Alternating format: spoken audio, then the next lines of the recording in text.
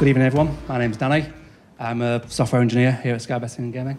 And tonight I'm going to be talking about Apache Kafka. So, for those of you who don't know what Apache Kafka is, it's a distributed streaming platform and it's based on an abstraction of a distributed commit log. So, where it really excels is in the building of real time streaming data pipelines and streaming applications. So, before diving into the technicalities of Kafka, I just want to kind of talk about where you would use Kafka, just so people have a kind of like idea of where it where it sits. So, the main use case, so the main reason Kafka was developed by LinkedIn was to track users on the on the LinkedIn website. So where they was going, what they was doing, searching, logging out, logging in, that kind of stuff. And the idea of whatever these people was doing was all sent to Kafka, and it was split up per activity. So basically, this allowed people who were monitoring people, um, it allowed them to kind of subscribe to what they was doing. Um, they could process what these people were doing, so they could do like real-time monitoring. We could load it into Hadoop, offline data warehousing, that kind of stuff. Um, but then people realised there was more use cases for it such as stream processing or ETL. So the idea that the data is consumed from Kafka topics and aggregated, enriched, filtered, transformed into new topics, and then yeah, so it can be further consumed or followed up with more processing. So I kind of think of like um, like credit card transactions, bank transactions. So the idea that they could be checked for fraud, um, that kind of thing. And part of the Kafka API um, comes with Kafka Streams and that's available straight out of the box for you to form um, data processing. Um, so it's like uh, if anybody's used like Flink, Spark, that kind of thing. And yeah, it can also be for uh, messaging, so it can replace that, that traditional message broker that you're using. Um, it's got really good throughput, built-in partitioning, replication, fault tolerance. Um, yeah, so it makes a real good solution for large-scale message processing. So we kind of know what we can use Kafka for. So where does it fit in? And I think this picture paints a real, really good um, image of where it comes in. And that's smack bang in the middle. Um, so you can have web applications feeding data into it, custom applications, services, monitoring, that kind of stuff. And then once that data's in there, you can take, take it out, so take it into databases, again, like Hadoop, Oracle, that kind of thing, Salesforce. So yeah, it's the idea of you can literally dump the data in there, and then you can get it out into other things. And I think this kind of thing sits in with like legacy stuff. Um, so stuff that's been sitting around in old databases that you can't really do anything with, pop it into Kafka, and then it can be taken out by, by newer things. Um, so I'm just going to talk about some concepts. So a single Kafka instance is referred to a broker. Multiple brokers are referred to as a cluster.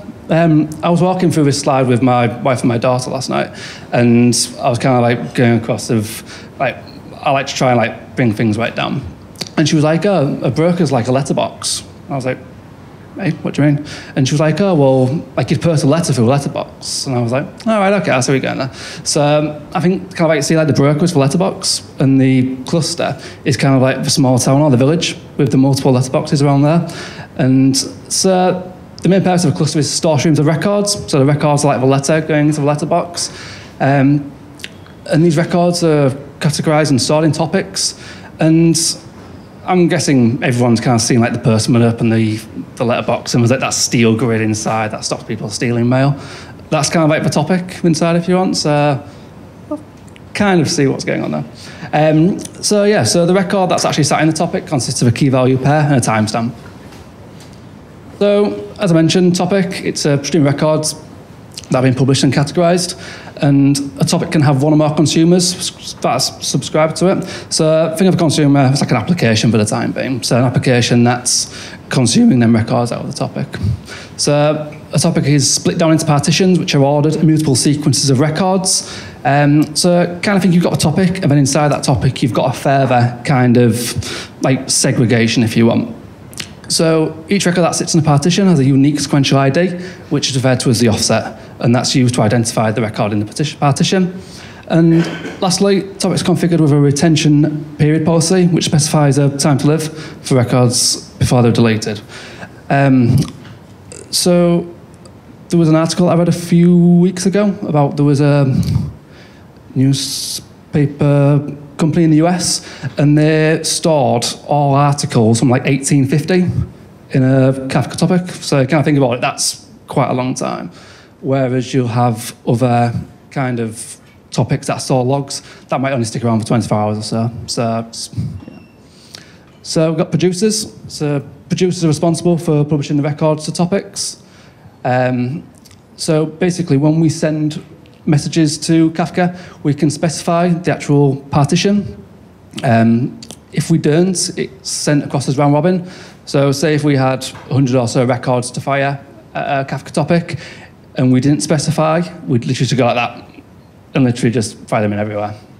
But if there was a, a specific partition that we had to send it to, we could actually specify that in there and send it direct to that one. So consumers, so consumers read records from one or more topics, and we can have consumer groups. So consumer groups are made up of con multiple consumers that work together to consume from one or more topics. So you might have a topic that literally gets, I don't know, thousands, tens of thousands of messages a second. So in that kind of case, it'd be good to run a, run a consumer group. So each consumer in a, consume, in, a, in a group consumes from one of more partitions. So kind of think you've got a consumer group, and in that consumer group you've got three consumers, and you're consuming from a topic that's got three partitions, you can kind of match them one for one. But consumers in a group cannot consume from the same partition. So say if you've got a consumer group of two consumers, and you're consuming from a topic that's got three partitions, it can only do one to one, one to one, and then that last consumer wouldn't be able to do anything. Yeah, it can't read from the same partition. So I'm just going to talk about Kafka at Sky Betting and Gaming. So Kafka at Sky Betting and Gaming is used to provide a common data platform where data sources can be accessed to make better data use cases. And it might sound a bit, bit thingy, but this resonates with me quite a bit because I've worked at companies where there hasn't been a problem with using the data that we've got, but people are kind of like, and they don't want to share it, or it kind of like, oh well, we're doing this and we can't really expose this, or we can't do that. You have to do, you have to get to it in your own means.